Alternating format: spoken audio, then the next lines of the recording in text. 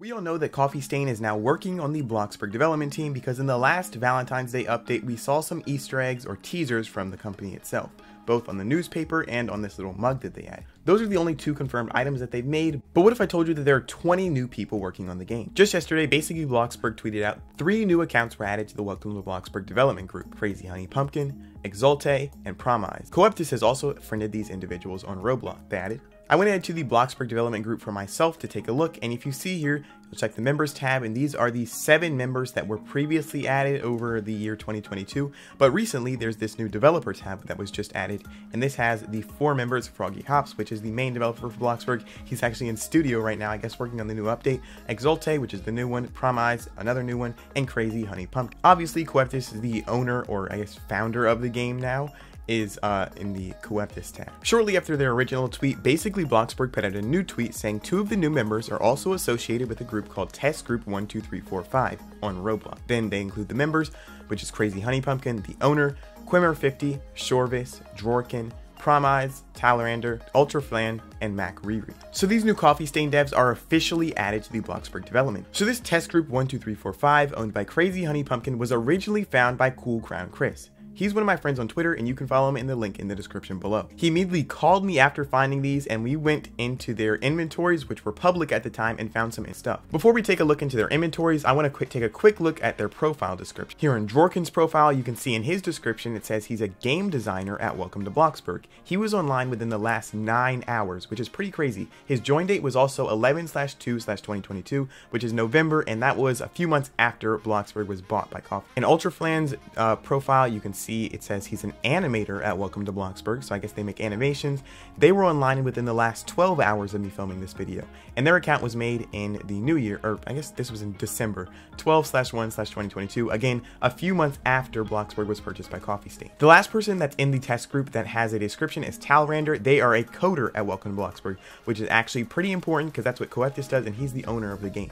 He was online within the last 5 hours of me filming this video, and he made his account in November. Something that I find interesting is that none of these people seem to have any past on Roblox. Like, they're all new accounts. It's not like these people are experienced Roblox devs that were added to the Bloxburg group, but rather just Coffee Stain devs that were gonna, I guess, learn Roblox Studio and the way to make games and stuff by Coeptus. Oddly enough, Coeptus has only friended three of the new devs that were added to from the test group. Those would be Crazy Honey Pumpkin, Palm's Eyes, and Exulte. Some people have exploits that allow them to join people's games even when they don't have their joins on, and I think that's what this person did to join Ultra. Ultraflan, one of the new developers, has been spotted playing Bloxburg. He's been working pizza blue delivery job to raise funds to build his plot. He has also been given the name Developer. And then as you can see here, Ultraflan is sitting in his little pizza moped, and you see you see the little yellow developer name tag, which I think is given to uh, FroggyHopz and Bram. So I guess they're on the same sort of level. They left some pics of Ultraflan and interacting with the people that were also in the game. He says, "My house isn't going to build itself. Here's this very odd mansion, upside down pyramid type house. I don't really know what this is." And then he even confirmed it again in game. He says, "I'm an animator," and then he says, "Right now, I'm just a pizza delivery driver." It's nice to see that these people speak English because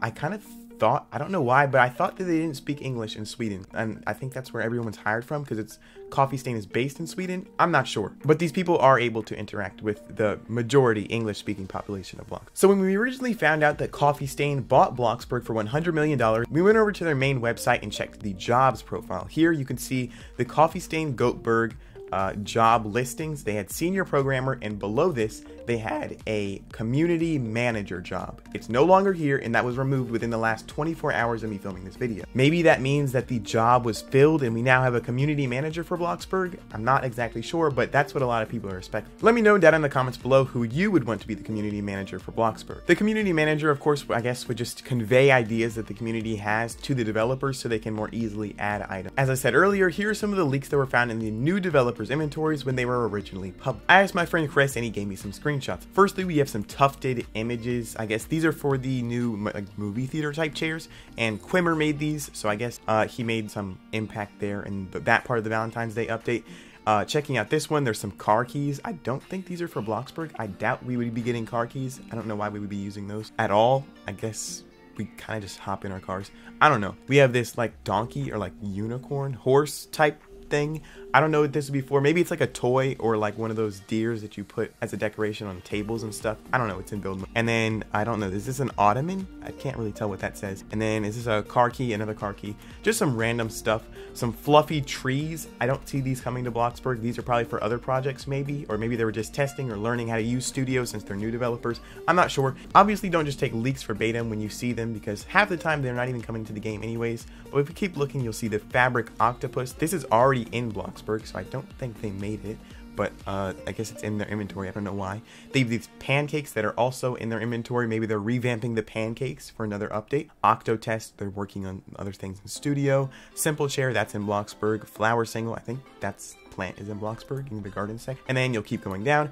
This is the person that made the coffee stain leaks or teasers. It says Mac Riri, and these are the images that's on the uh, coffee stain mug that they added.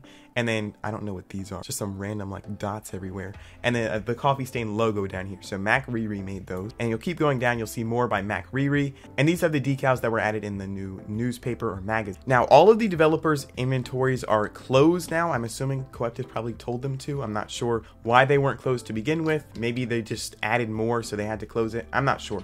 But that's what we found when they were open. Cool Crown Chris even helped me look at all of the new developers that were added to the game. I think there's 20 total, like I said in the beginning of the video. So firstly, you have Coeptus, obviously. He's the scripter, coder, and programmer of the game. He's been here for like, what, six years, eight years? I'm not sure.